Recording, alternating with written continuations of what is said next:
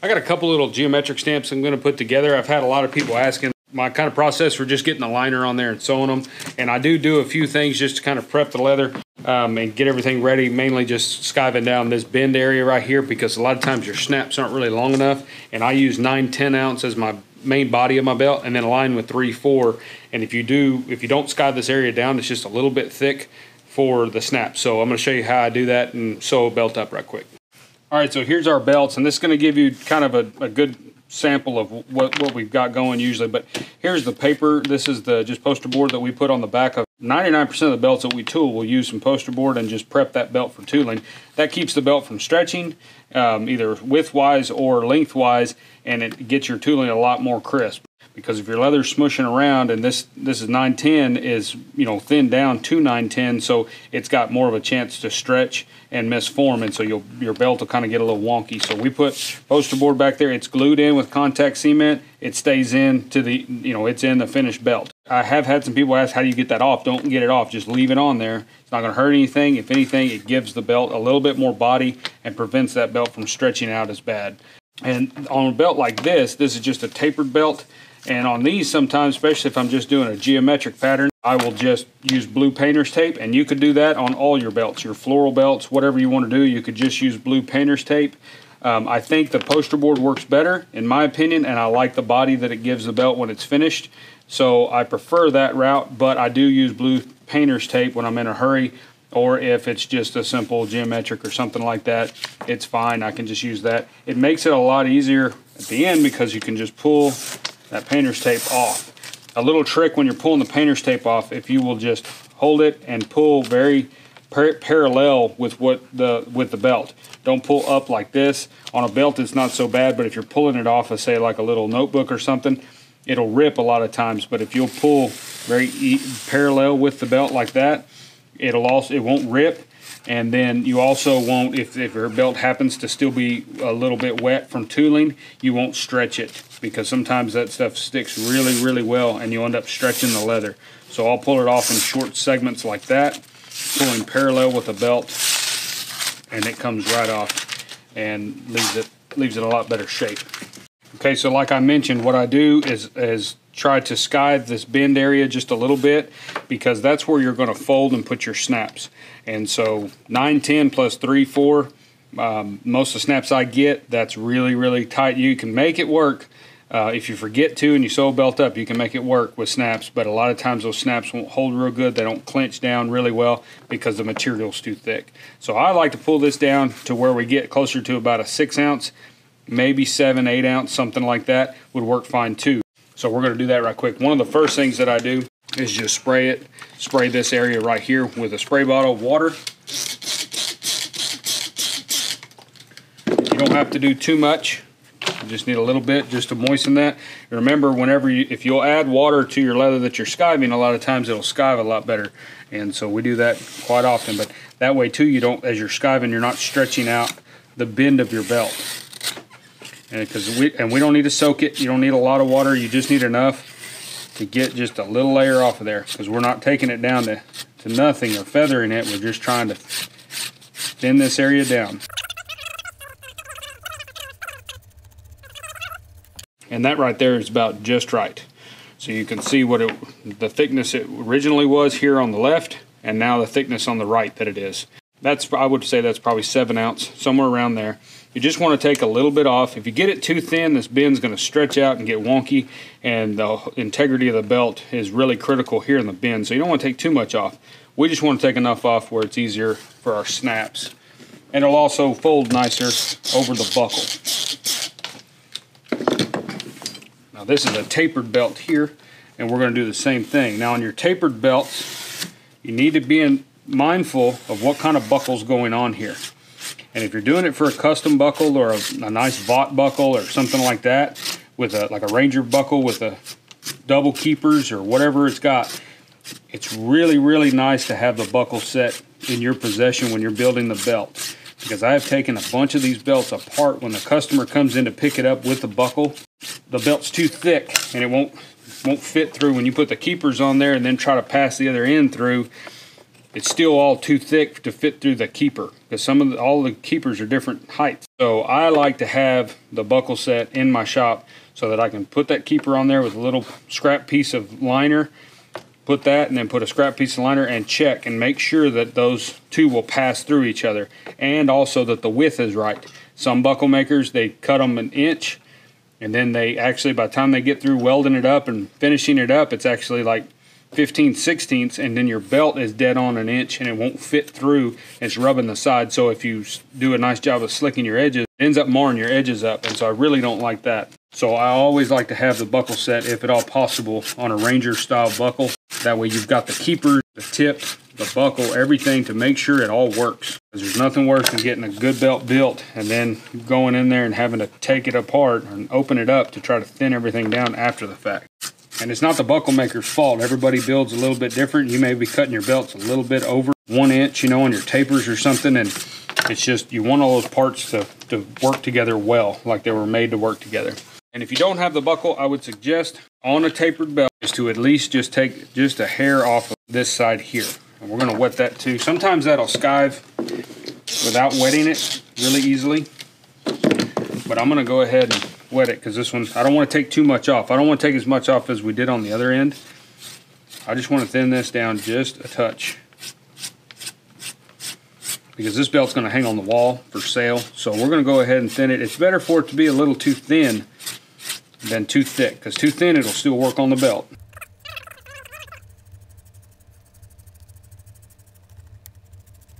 There we go.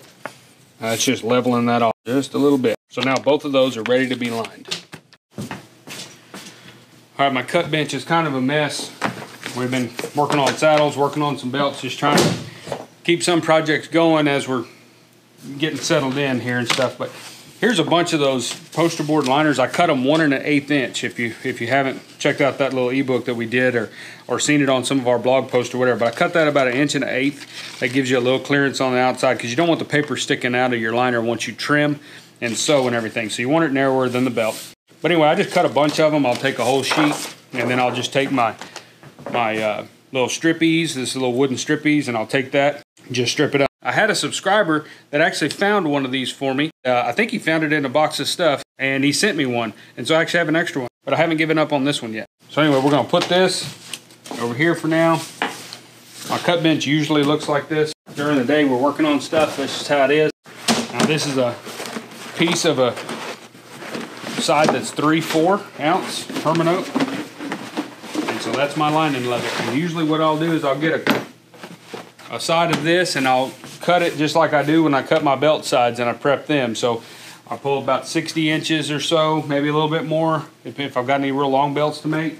And then I'll cut the neck off, straight edge the back, ready to go. A lot of times I'll cut the butt off too on my liner, just like I do on my belt sides but sometimes I'll leave it. It just depends on what projects I've got ahead of me and how fast I think I'm going to consume it. But you don't want to waste a bunch of little pieces of the inch and a half or whatever that you're cutting on your belt. So same thing with your liner, but that's three, four ounce. You can see it's real soft. All right, so we've already cut a bunch of liners off here. I usually keep one of these on my bench that's up underneath here that's just ready to go for a liner anytime I need one. I'm going to take this strippies and I'm going to set it at an inch and three quarter. That's going to give us a little bit of feather on the outside of the belt. You don't want to cut your liners an inch and a half and try to meticulously line them up. Always cut your liners anytime you're lining something, cut it wider. You can cut that excess off after you sew it. So we're going to set our strippies at one and three quarter inches wide because these are one and a half inch belts. And I'm just going to cut two strips of this and then we'll go glue it onto the belts.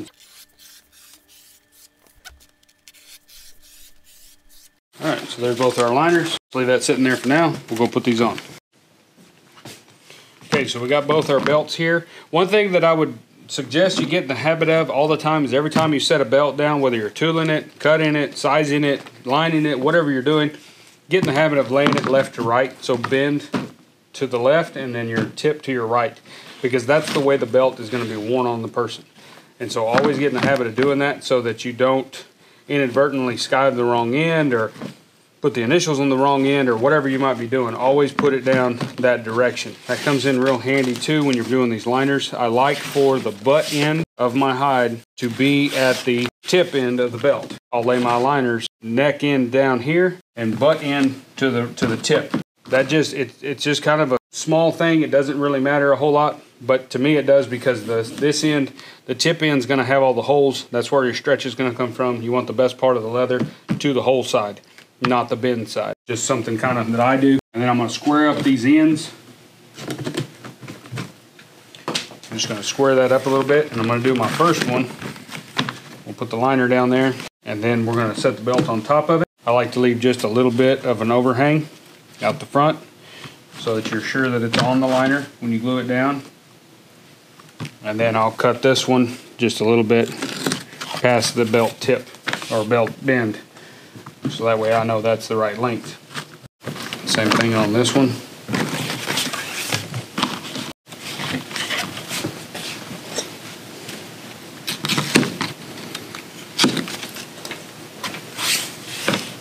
So now we're ready to put glue. We're going to do two coats on each piece. I think two coats is better. Your first coat usually just gets absorbed. It's not super sticky. It's kind of prepping the surface. Second coat is for stick. We'll go ahead and put two coats on all this. We'll put one on, let it dry, put another one on, let it get tacky, and stick them down.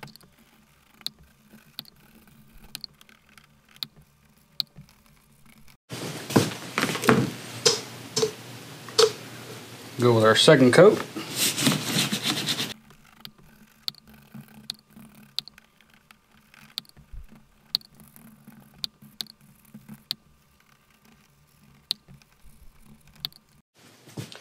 All right, so now this is tacky, so now we'll just, if you lay them out like that, you know which belt goes with which liner, so you don't get them confused, because I've stuck the wrong liner on a belt and get to the end and have it too short, and especially if you've got paper on there, it's really hard to rip that out and without tearing stuff up and wrinkling the leather. So always be sure you keep that keep that straight.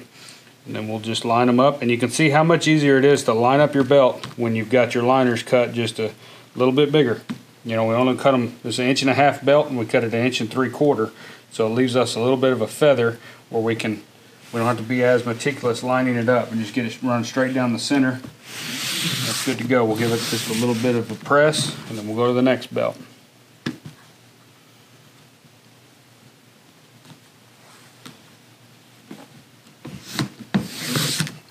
a little bit of a press. Now we'll go to the bench and we'll hammer them in just a little bit. All right, so this is what I like to do anytime I'm gluing, anytime I'm gluing anything up is I like to take a nice flat-faced hammer and just lightly tap them together because what that's going to do is make sure that that contact cement makes a good bond and everything sticks really well. And uh, if you don't do that, that liner can walk around on you a little bit. If you, if you prefer, you can also take a glass slicker and just run down the back of the belt thing you got to be careful about is make sure it's stuck good the first time because if you get a little spot that walks up then you can uh, you can squash a wrinkle in that liner and that's kind of kind of not good. You know it's not going to look real good on the back side of the belt plus it can it can cause a little stitching stitching mistake too.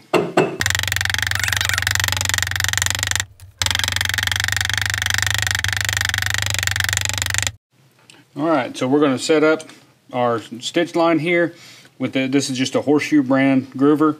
You can use any groover that you like, but we're going to go in there and you want basically your stitch line at center of your border. And so we'll just go there and we'll groove. You certainly don't have to groove, especially with a Cobra Class 4. The way that machine stitches and as good as it stitches, you really don't have to groove. I groove my stitch lines because I think it gives it a more professional look and it's just kind of something as a saddle maker that we're sure to do all the time is to groove our stitch lines. And so on my belts, I just feel like that that comes through on those as well. And I think it looks nice. But you certainly don't have to. If you'd prefer not to not to do a stitch groove, then there's nothing wrong with that at all. And so now we'll do this one.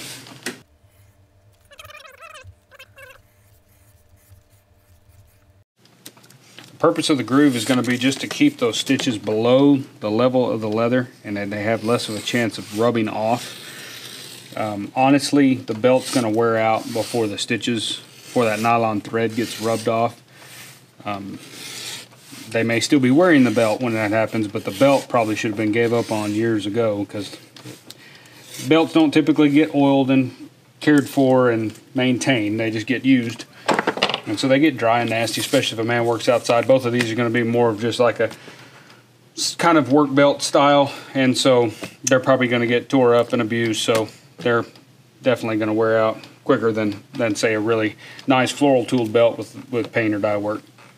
But now we'll go sew these. They're ready to sew. Now, like I said, we've thinned down the bend, so you'll notice how much nicer that bend will fold, even with a liner on there, than what this would. If you, this is going to be really hard to fold and to put snaps in, so that's why we thin that down on both of these.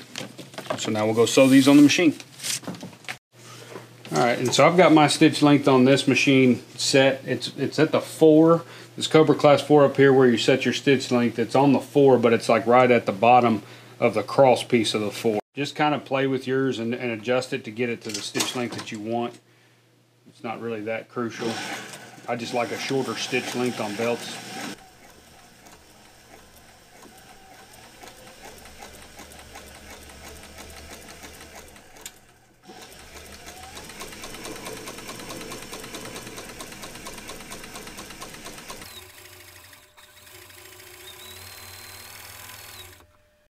Now I don't use a guide when I'm sewing belts on a machine. If you wanted to use a guide, your Cobra's guide for this machine, um, stitch guide is very, very nice. It slides on here. It works out great. It moves out of the way very easily if you need it to.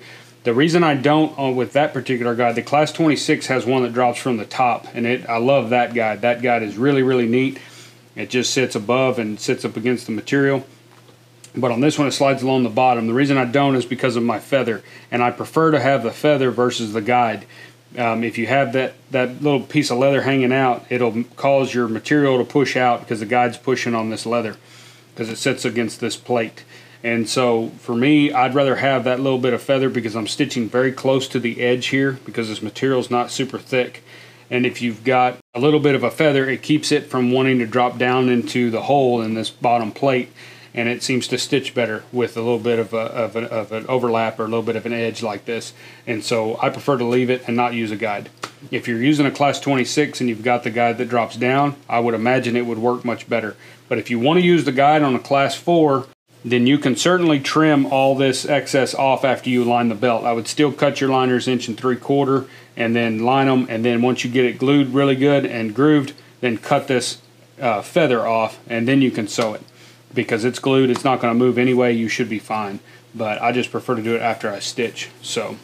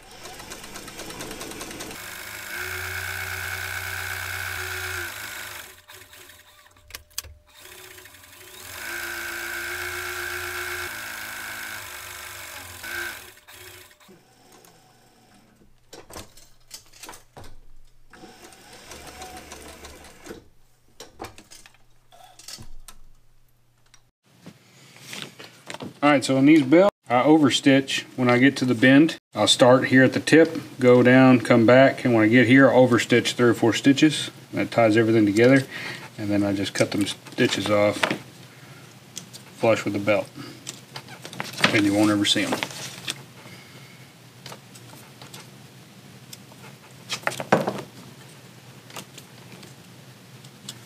So the next thing what we would do is we'd go ahead and trim off this excess liner flush with the body of the belt. We'll go ahead and sand them, edge them, slick them. I'll use a number three edger on my belts is what I use. And we'll do that and then slick the edges, let those dry, and then we'll come back and dye the edges. And then at the end, I'll put the snaps on. That's usually how, how I do my belts. The snaps are the last thing to go in, take pictures, and ship it out. Usually on my belts, these are both just little work belts, so all we're gonna do is an oil finish. I think on this one, I'll probably dye his brand black real quick.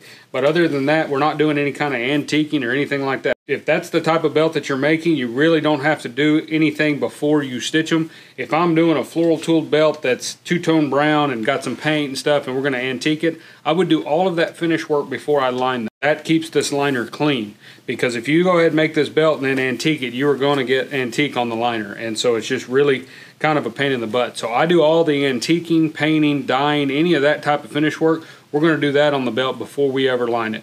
And so by the time you line it, your your belt is technically done. It just needs liner, stitches, and snaps. But these are both work belts. We're just going to oil them. I'm going to oil the liner anyway. We're not we're not going to worry about it. We're just going to put them together. So again, just kind of keep that in mind. If you are going to antique, do all that before you put your liners on because they look a lot better when you don't have antique stains smeared on the back side of it or anything. So guys, that's lining a belt. It's really easy. Like I said, just wanted to do that real quick tip, mainly to show you how much I thin down the bend area. I think I've mentioned it before, but if you haven't been doing that, that'll really make assembling your belts a lot easier and setting those snaps a lot easier. So I hope you enjoyed it. Thank y'all very much for watching. We'll see you in the next video.